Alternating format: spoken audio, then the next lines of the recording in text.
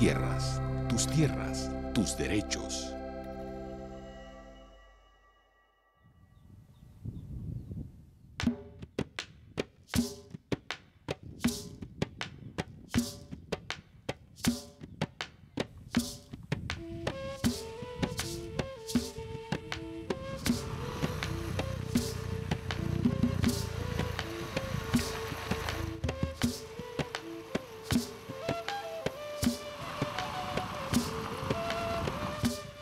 Recorrido por Santa Paula, en el departamento de Córdoba, encontramos decenas de historias de mujeres campesinas que han sido restituidas. Como retratos de mujer, los recuerdos de las campesinas despojadas, sus vivencias, dolores, luchas y logros desfilan ante nuestros ojos. Marta es un buen ejemplo de la mujer campesina y por eso nos asomamos a su vida con asombro. El caso de Marta es el caso de todas las víctimas del conflicto que sufrieron y que la unidad ha acompañado. Queremos que ella nos cuente cada paso de este proceso para llegar a lo que tiene hoy.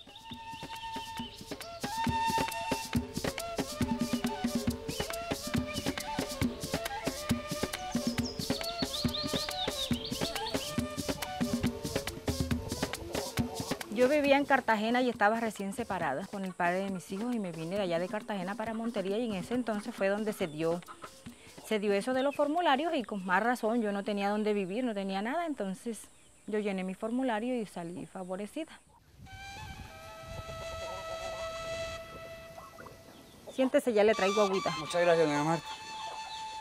En el 2000, eh, pues nos dijeron que, que, que debíamos vender o entregarla. Mismo pastor o personas que, que trabajaban ahí fueron las que sí que nos, nos sacaron de la tierra exactamente.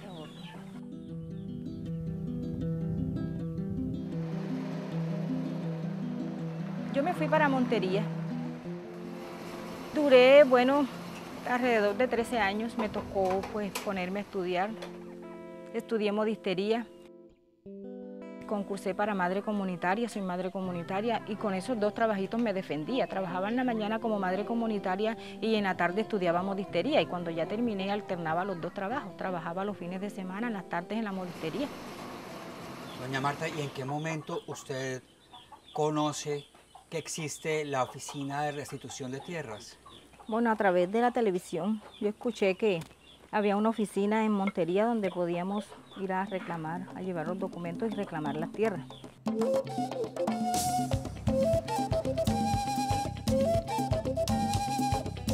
Bueno, yo fui y me acerqué a la unidad de tierra a pedir información.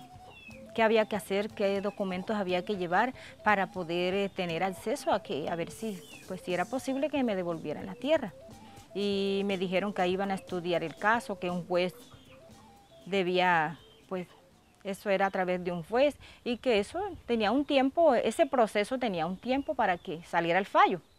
Y siempre los funcionarios de una manera muy cordial, muy profesional, eh, siempre nos brindaron apoyo, siempre pues nos hablaron en forma clara, eh, que uno entendiera.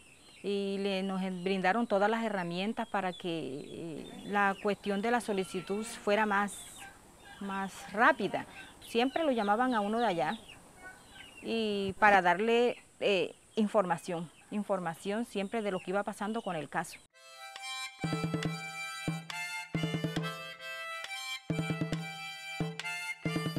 Al inicio, rompiendo el hielo de la desesperanza y el sigilo, se fueron dando los primeros pasos que hoy permiten el desarrollo y avance de los procesos de restitución de tierras. Miluska Ramírez, yo soy funcionaria de la Unidad de Restitución de Tierras y hoy lo que venimos a hacer con ustedes es compartir un poco de nuestro trabajo, mostrarles cuál es la ruta de restitución para que ustedes tengan conocimiento de lo que se va a hacer. Cuando la persona está brindando la solicitud, lo que nosotros tratamos de hacer es decirle que toda la información que nosotros estamos recogiendo es confidencial que todo el proceso está blindado para que darle las seguridades, para que ella pueda retornar a su tierra sin que haya un daño eh, mayor o ella vuelva a enfrentar las situaciones de inseguridad a las que se vio abocada en el momento del despojo, del desplazamiento.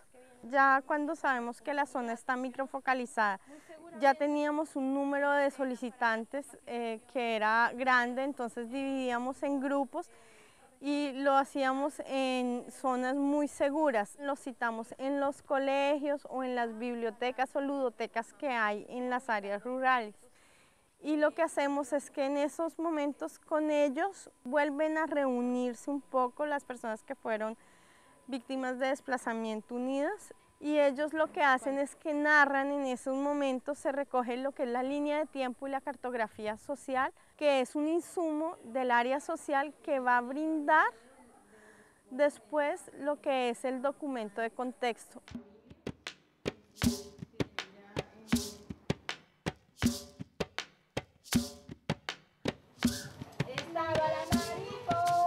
Las mujeres como Marta, dulces, laboriosas y valientes, no pierden el ánimo y mientras tanto trabajan en lo que pueden para sostener sus familias. Los meses de espera dan su fruto cuando llegan los días en que los funcionarios y personalidades venidos de la capital anuncian las buenas noticias. Con las sentencias se empieza otra fase de la ilusión y el sueño de los campesinos y campesinas, con los planes que se hacen para el retorno. Llamaron por teléfono, yo fui a la oficina y me dieron la noticia ya personalmente que ya el fallo había, que ya había salido el fallo y que sí, era a favor de nosotros, porque eso era, ya esos papeles, esos documentos los mandaban por grupo.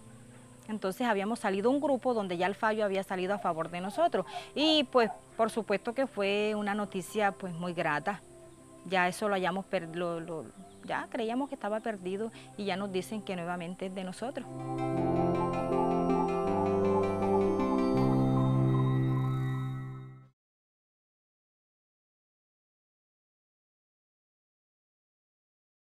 Los rostros curtidos por las angustias, el clima y el tiempo van tomando una nueva vida con las noticias que traen esperanzas. Como escribiera García Márquez, un personaje de esta costa atlántica, en la vida hay que vivir para contarla.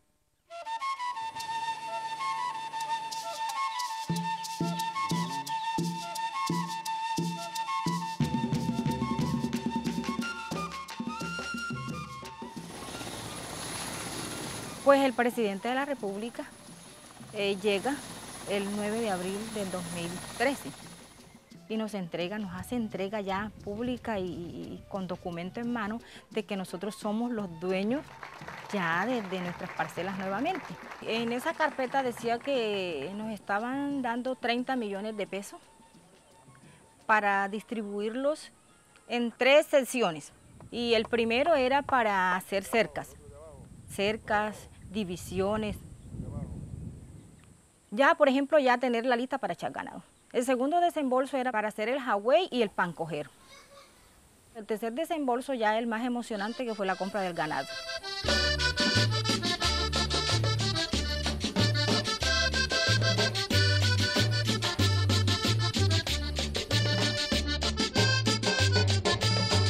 Doña Marta, hoy vamos a hacer la verificación identificación de los vértices de su parcela, ¿yo? Dentro del proceso, cuando ya le dicen a uno que el fallo salió a favor, eh, viene un topógrafo a medir, a ubicar los puntos donde era, donde nosotros teníamos nuestra propiedad.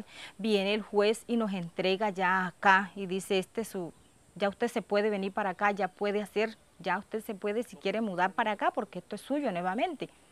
Entonces, si ya ahí sí, pues uno cree de verdad, esto es mío.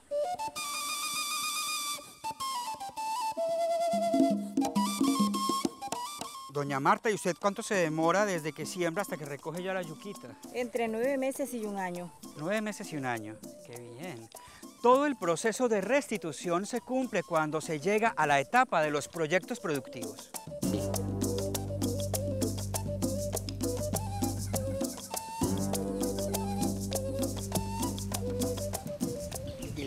¿Y eso cómo va a ser? Bueno, la casa ya hay muchas casas que están hechas, que ya algunas personas ya se las han construido.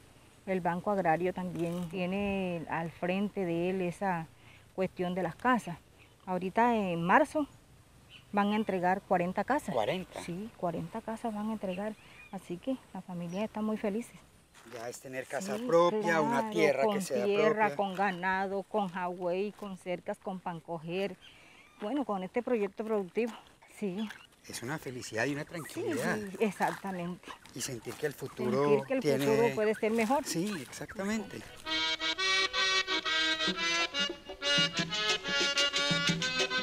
El Banco Agrario es como nuestro banco de cabecera, eh, primero porque es el banco hecho para los campesinos, es el banco que tiene sucursales en todos los municipios más eh, distantes del país. Lo que nosotros normalmente hacemos con el banco es lo siguiente, comunidad restituida, lo primero que tienen que hacer es bancarizarse, eso es va y nos abre una cuenta, una cuenta que no tiene ningún costo, y allí se le ponen los recursos del proyecto productivo, recursos que la misma familia administra. Y también tenemos otra intervención del Banco Agrario y es en materia de vivienda. Ellos son los ejecutores de la política de vivienda rural. En ese orden de ideas nosotros postulamos a nuestras familias restituidas para que ellos les asignen las viviendas.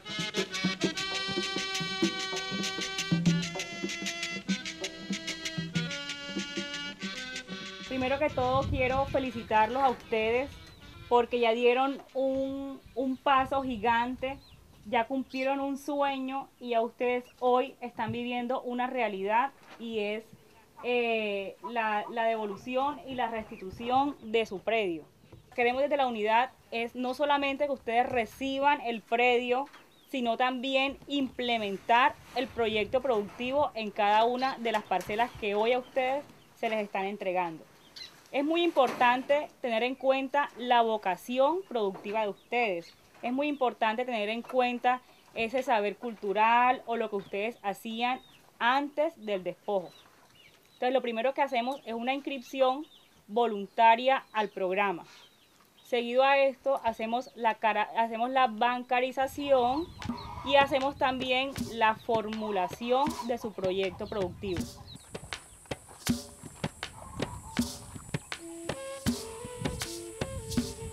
Familias campesinas y técnicos unen sus saberes para proyectar su futuro económico. Hombres y mujeres analizan las opciones y se definen sus intereses. Luego, manos a la obra.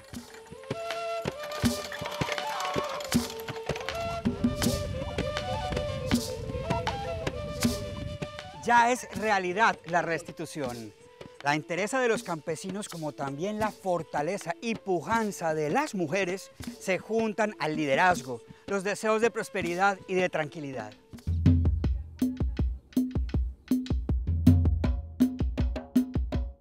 Cuando yo llegué a mi predio, lo primero que vi fue este, una cantidad de pasto muy grande. Lo único que se veía era pasto. Era lo único. O este, un palito de totumo que tengo acá, que fue donde me pude refugiar donde, cuando llegué y hice el primer sancocho cuando ya veníamos acá. Entonces yo dije, aquí es que voy a hacer el rancho. La verdad es que en ese momento, en eso, en eso, en eso, yo no pensaba, yo no pensaba volver, yo no, yo no, no me hallaba aquí.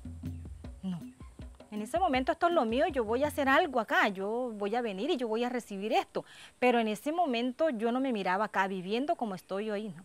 Después con el tiempo ya fui haciendo y fui haciendo y cuando me di cuenta ya estaba acá, ya había hecho muchas cosas, ya había invertido, ya venía, venía con frecuencia hasta que esto es lo que me gusta, esto es lo que yo quiero, ya le tengo un amor que, que de verdad no pensé.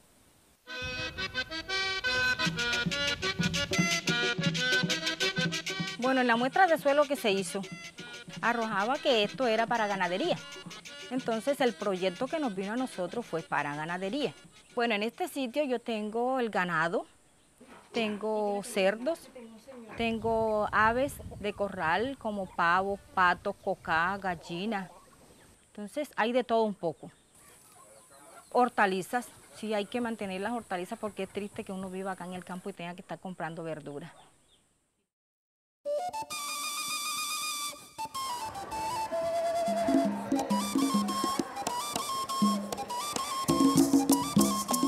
Ya se busca a los funcionarios como a viejos amigos que conocen sus vidas, sus sueños y también los retos que hay que ir superando día a día.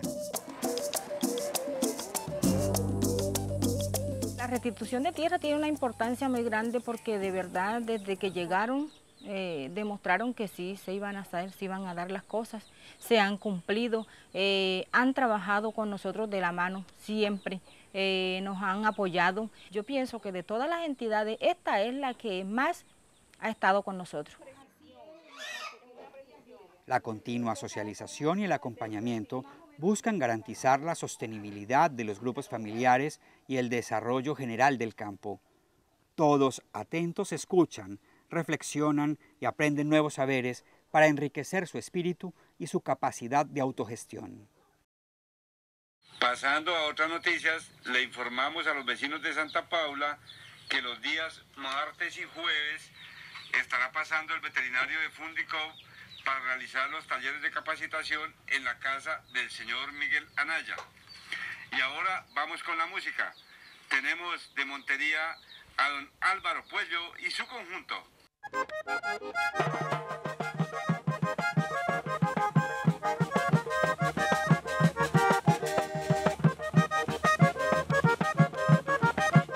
En esta historia podemos ver el sendero hacia la restitución de tierras que han seguido los miles de campesinos que han regresado a sus parcelas y destacamos lo vivido por las mujeres campesinas. Soy un colombiano del montón que he tenido, que rompen el cuero para sobrevivir. Tengo un hogar que es FAMI, que no es para atender los niños acá, sino tres días en la semana se le dictan unas charlas a los padres, son eh, niños menores de dos años y mujeres embarazadas, lactantes y gestantes.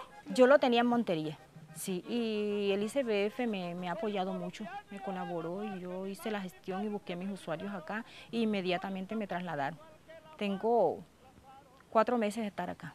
Bueno, cuando por lo general las personas son las que le llegan a uno porque nosotros no podemos este, estar investigándoles, sino que ellos son los que le piden apoyo y llegan entonces eh, pues de forma discreta uno más o menos trata de, de orientarlos a, a, solucionar los problemas o por ejemplo cuando a veces hay maltrato con los niños por la situación, por diferentes cosas, uno trata de, orientarlos y de, y si uno ya ve que el caso es más un poquito más grandecito, busca a un profesional y le pide apoyo. Soy un campesino del montón que he tenido, que rompeme el cuero para sobrevivir. Soy un campesino del común que he luchado, que sufre bastante para ser feliz. Soy un campesino hijo del amor que mi madre y mi padre un día me brindaron. Soy un campesino al que las balas desplazaron. Soy un campesino al que las balas desplazaron.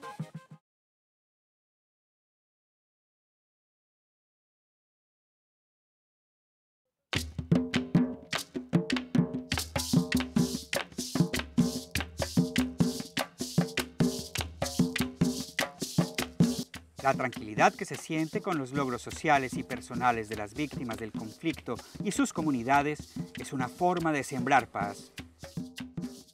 Bueno, sí, yo estuve en Bogotá el 9 de abril de 2014, eh, en el Congreso. Me tocó pues allá reunirme con muchas personas que venían de muchos departamentos a compartir lo que estamos haciendo acá en nuestro departamento y lo que ellos están haciendo en su departamento. Y a pedir, porque en eso fue que yo me enfoqué allá, a pedirle a las entidades que no nos están apoyando, que no nos han apoyado, que nos apoyen.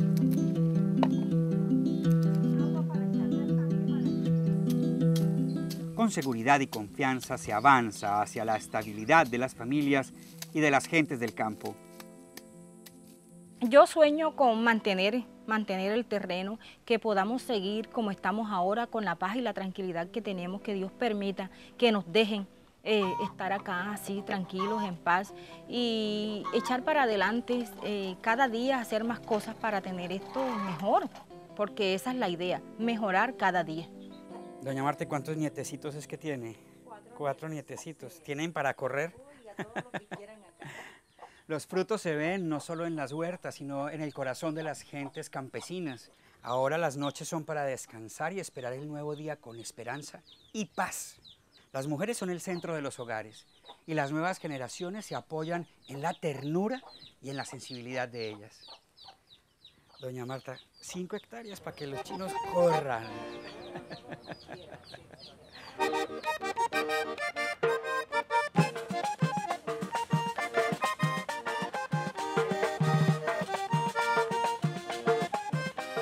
ya me he enamorado de esto, ya no quiero salir de acá. Es una paz, una tranquilidad. Cuando yo empecé aquí tenía dos gallinas y ya hoy día tengo una cantidad de gallinas y tengo pavos y tengo cocadas y tengo patos y cada, cada cría que sale, tengo tres crías ahora de pollitos pequeños, eso es todo lo que hace que, que, no me vaya, que esté aquí porque tengo que estar pendiente, cuidándolos. Entonces a mí me encanta ver este patio lleno de mirar y ver las vacas allá, los terneros, ir al chequero allá de donde están los marranos y mirar esa marranera que cada día va creciendo más.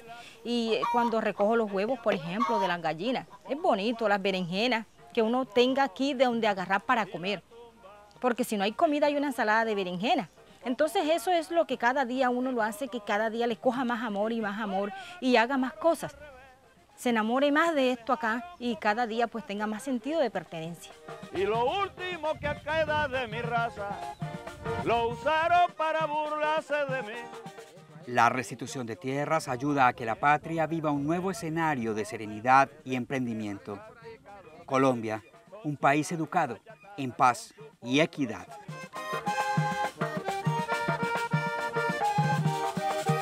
Yo soy india de los puros del sinú.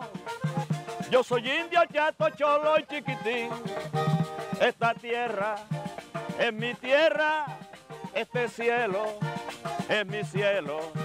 Esta tierra es mi tierra, este cielo es mi cielo.